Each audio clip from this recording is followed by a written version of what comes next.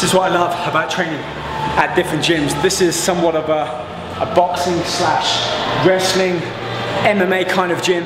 And so we don't have the normal, I guess, typical workout machines and all of the weights and dumbbells, barbells, plates that I would normally train at. So I'm having to quite literally think outside the box here. And uh, these next two exercises that I've kind of put together are similar to what I would do in a gym. We've got kind of a, a pressing movement that you can see here. I've got two Olympic bars pushed into the side of, uh, of the wall here with a plate on each end. And I'm going to get under there and push them both as kind of independent levers, but as a chest press. And it's got a slight upwards movement because of the leverage and the angle of the Olympic bar. So really a great upper pectoral exercise.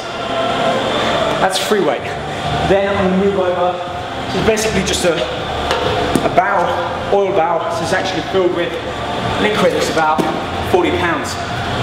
So three sets again, always trying to increase that intensity on every set, but trying to stick with that same rep range so that I have a constant in all of my training programs.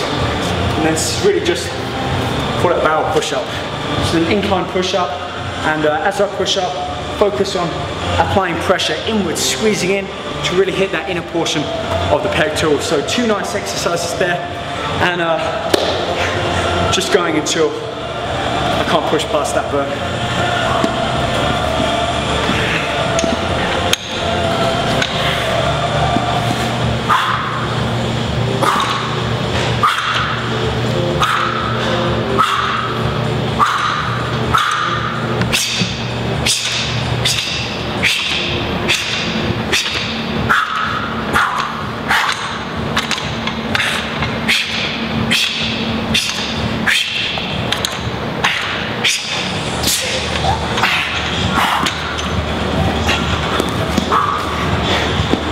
Explosive. Hit those type 2B muscle fibers. And short steps of breathing. Like a boxer fighting. In through my nose and blowing it out, keeping my, my mouth closed. I'm already feeling a pump. This is gonna, gonna result in a few reps, but let's try and get double figures.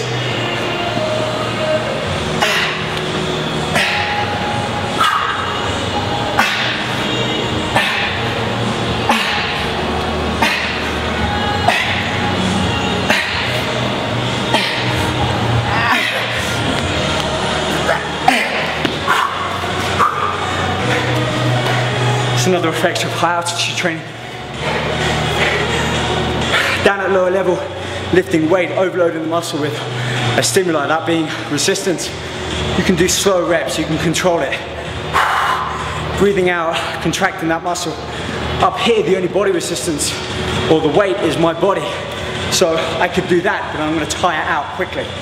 And I wanna activate those type 2 and type 2B muscle fibers. So fast and explosive when it comes to lifting your body weight. Oh man. I'm gonna get some water and then be back here for rounds two and three. Right, so I've upped the weight now. Works it to extra 10 pounds on each. see what we've got.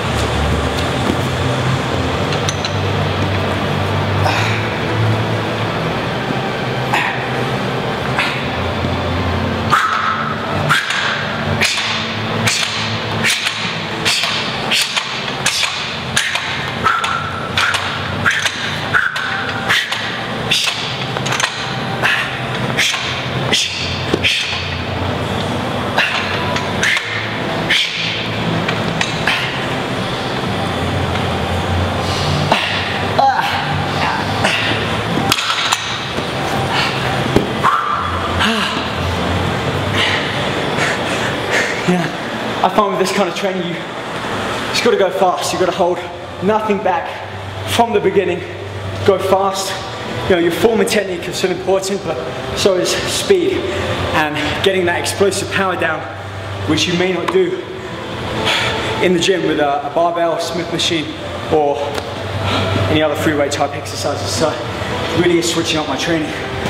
Anyway, for the second part of this exercise, I'm to introduce introduce a, uh, uh, a step board. Feet up now, decline. I'm but the benefit of this is I can always kick this out and go back to my incline version.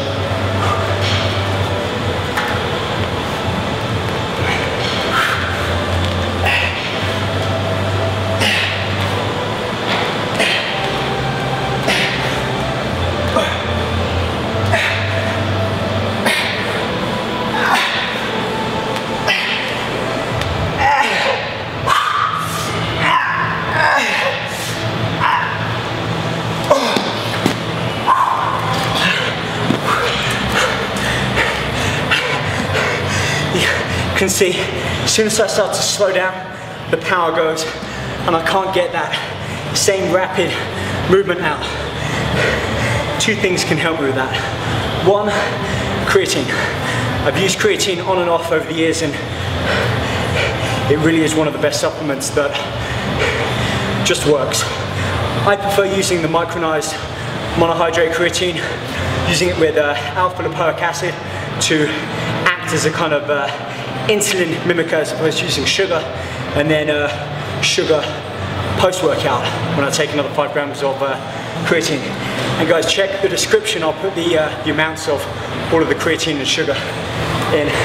And then the second thing that can help is, believe it or not, baking powder and honey. I learned this when I did a feature up here with uh, boxing coaches and uh, a ratio of one to three.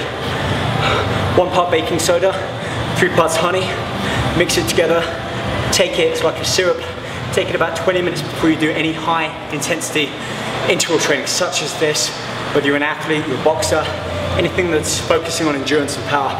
And that helps buffer out some of the lactic acid that builds up in our muscle and prevents us from basically continuing at that same stamina, that efficiency. So maybe next time I'll try that and see how this compares enough rambling. Third set coming up, we're gonna add a little bit more weight. No drop sets in there, no rest pauses. Like I said, it's not a conventional workout. As much weight uh, as I can lift for a good 10, 15 reps. And then onto this one. And now I'm gonna remove this stable factor and use that medicine ball behind, keep my toes on it. So I've got two kind of unstable platforms to then have to exert that force and push up my body weight. This workout is draining. It's fun, it's different, and it's nice to mix up maybe once every four to five weeks from my regular program. Action.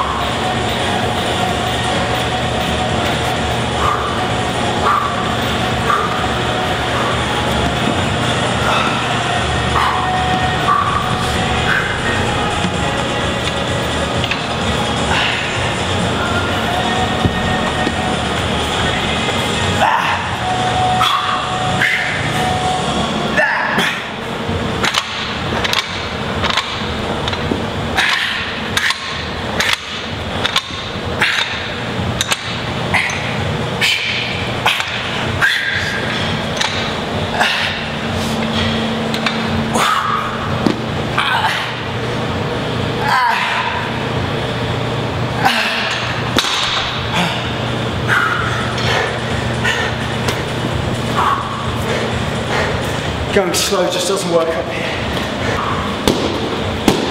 Uh, this one's going to be a challenge. Medicine ball. Toes on the medicine ball, hands either side of the bow. The bow is moving back and forth. The ball is moving all over. This is where core really has to be that much more engaged. My intercostals, all of my legs, I mean pretty much everything. Full body exercise. Never actually done this one before, I just it'd be a challenge.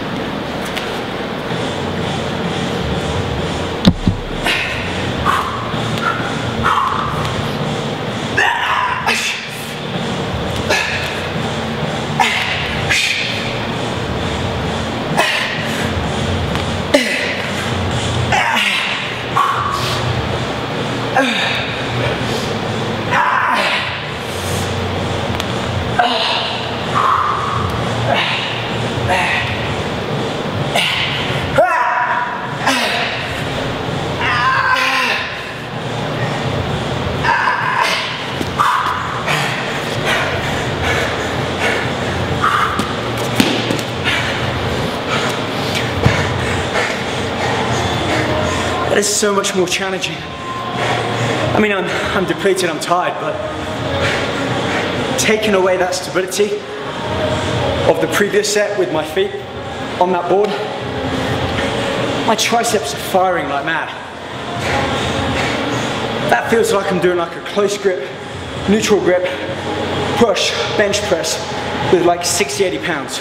I mean, it's my body weight, I'm like 185 right now, but feel worn out. I feel like I've gone three to five sets of doing bench.